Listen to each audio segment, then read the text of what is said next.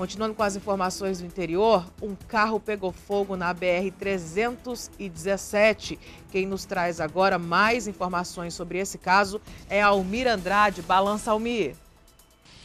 Estamos aqui no quilômetro 6 da BR-317, estrada do Pacífico, para mostrar realmente o um incêndio que aconteceu neste veículo. Este veículo vinha do quilômetro 26 aqui da estrada do Pacífico. Quando chegou aqui no quilômetro 6, é, começou aí é, ter um problema elétrico e o o motorista ainda chegou a parar, dar uma olhada no veículo, mas ele começou a incendiar. E as pessoas que estavam dentro foi tirado pelo motorista, é, pelo motorista que estava aqui, e só que tinha todos os objetos dentro do carro não foi possível tirar os objetos. Cerca de 8 mil reais também é, em confecções, já que eles trabalham, é, são vendedores, e aí um prejuízo muito grande para esta família que mora aqui no quilômetro 26, a estrada do Pacífico. O corpo de bombeiros é, foi acionado, mas quando chegou aqui, nada pôde fazer, já que o carro estava totalmente destruído pelo fogo. A gente observa aqui, ó, olha só como é que ficou o motor.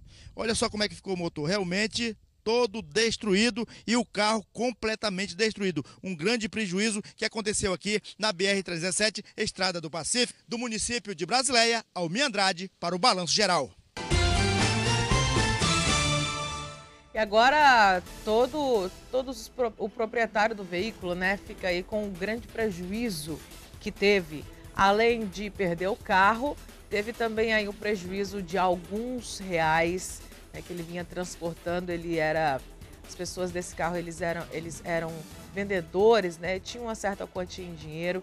Infelizmente aí não deu, não deu para salvar nada neste veículo que pegou fogo aí na BR 317.